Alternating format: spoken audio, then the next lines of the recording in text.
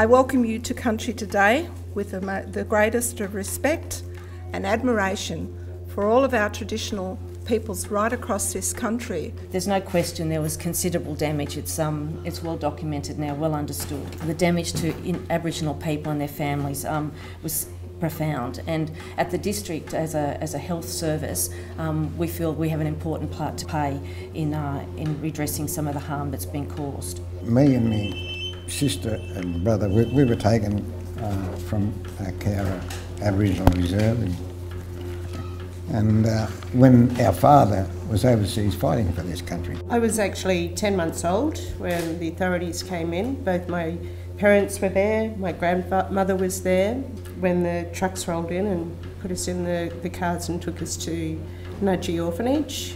When I was in the homes, they kept uh, on telling us that uh, we were in there for our own good, you know, and I think that's a lot of rubbish. So to come here and, and express and tell my story, I'm hoping that people will take little snippets out of that and take it on board and pass the message on.